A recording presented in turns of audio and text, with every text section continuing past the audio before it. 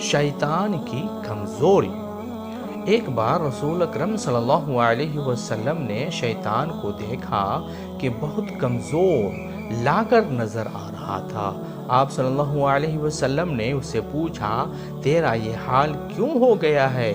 शैतान ने कहा, ए रसूल खुदा सल्लल्लाहु अलैहि वसल्लम, आपकी उम्मत के छः कामों के बाइस परेशान हूँ।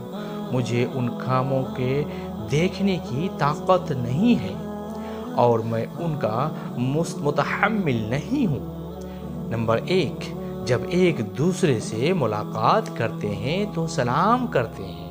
नंबर दो, एक दूसरे से मुसाफा करते हैं। नंबर तीन, हर काम का इरादा करने से कबल इन कहते हैं। नंबर चार, गुनाह हो जाए तो इस्तफ़ार करते हैं। नंबर पाँच आप सल्लल्लाहु अलैहि वसल्लम का नाम सुनते हैं, सलावात पढ़ते हैं।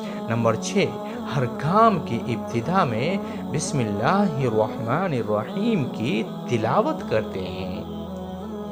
शुक्रन जजाकल्ला खैर फिर दुनिया वाला आखिरा।